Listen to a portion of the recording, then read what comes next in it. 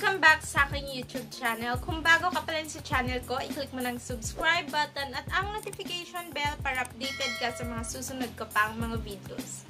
Another video, another tutorial na naman tayo. And kung interesado kang malaman, just keep on watching.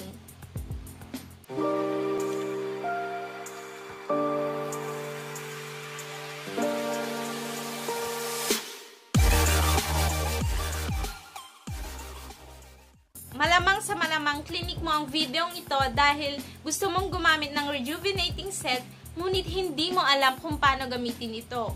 Or, clinic mo itong video na to dahil gusto mong malaman kung paano gamitin ng tama ang iyong rejuvenating set.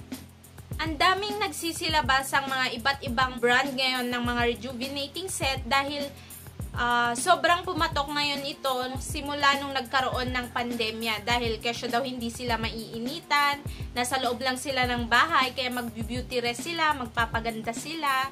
So, sobrang pumatok nga tong rejuvenating set na to.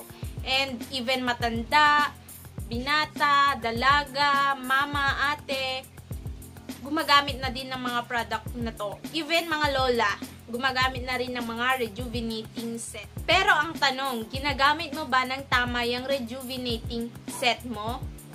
So, ayun, before ko sisimulan ang tutorial na to, disclaimer lang po, I'm not a dermatologist and uh, isishare ko lang sa inyo ang aking nalalaman, kaunting nalalaman sa skincare and through experience din po sa paggamit ng mga rejuvenating set. Simulan natin sa sabon. Mostly, ang mga gumagamit is binababad nila sa kanilang mukha yung sabon kasi nga iniis iniisip natin na kapag mas matagal yung sabon sa ating face ay mas magiging effective siya. And then yung iba naman is yung sabon dinedirekta nilang kinukuskos sa kanilang face. So, ayun. Kaya ka gumamit ng skincare dahil nga gusto mong pangalagaan yung skin mo. Pero, pag pinagpatuloy mo yung ginagawa mong yan, sa tingin mo, ma-achieve mo ba yung gusto mo? Remember, ang skin natin sa face is mas manipis siya compared sa skin ng body natin. Imagine, kapag nagsasabon ka ng any Kojic soap sa katawan mo, tas binababad mo siya, kasi na-try ko na din yun eh. Binababad ko siya sa skin ko and yun nga, nagsusugat yung skin ko. So, how much more kapag sa face natin binababad? Mas lalo siyang mas magsusugat. So, ayun, dapat muna is basahin muna natin yung face natin ng kaunti and then basahin natin yung palm natin ng kaunti, saka natin ilalagay yung sabon at papabulain natin sa ating kamay. Imamassage natin siya ng circular motion mula sa noo hanggang sa chin. Bakit natin siya minamassage ng circular motion? Yes, para matanggal yung mga nakasiksik na dumi dyan and para marerelax din yung skin natin while hinuhugasan natin ito sa pangalawa naman tayo, sa toner. Dami-daming nagpo-post or nagtatanong sa mga page ng rejuvenating set kung bakit daw uh, nagsusugat yung face nila. So, ayan na naman po tayo. Ginamit mo ba ng tama yung toner mo? Karaniwang nakikita ko, pati na rin sa mother ko dati na gumagamit din ng rejuvenating set.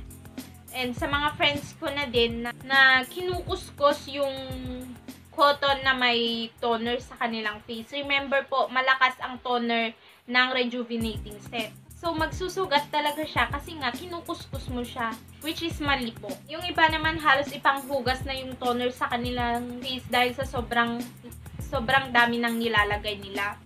So, ganito po yan. Kumuha ka ng cotton pad or cotton balls and then patakan mo siya at least 5 na patak and then enough na po yun for your face. Then, itap-tap mo lang po siya ng ganyan. Ayan. Para po maiwasan na magsugat yung face mo. And then, and then, pwede mo din i-apply upward, ng ganyan. Pero, hindi siya, uh, pero gently lang pataas. Para maiwasan yung pagsusugat sa face mo. Kasi kapag kinukuskus mo ng kinukuskus yan, tapos malakas yung toner mo, talaga magsusugat yung face mo or yung leeg mo. And one thing na napansin ko din is ginagamitan ng toner yung eye area. Which is hindi po dapat kasi napaka-sensitive po ng ating ng ating mata. Uh, kung gaano kanipis po yung skin natin sa face, mas manipis na naman po yung sa eye area natin. So, hindi dapat natin siya linalagyan ng toner kasi mamamalat din yung under eye mo pag nilagyan mo yan ng toner.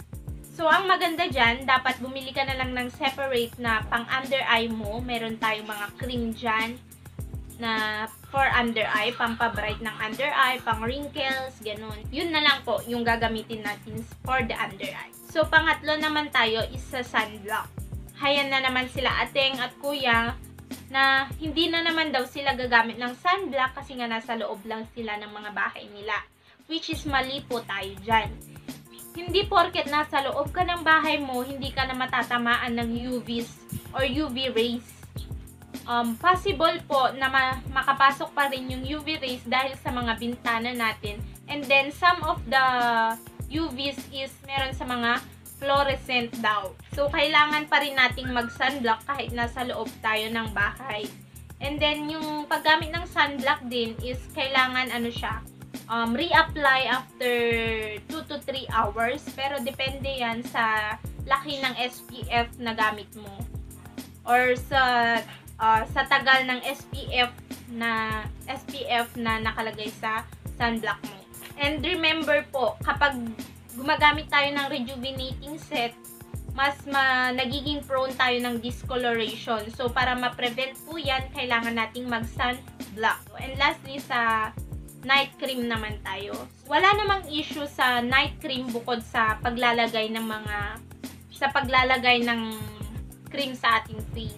Yung iba kasi is ayan, lagay dito, lagay diyan hanggang ang dami-dami na nilang nilalagay. Tapos kapag kinakalat na nila sa face nila is para na silang nagmamasa ng harina sa kanilang mukha.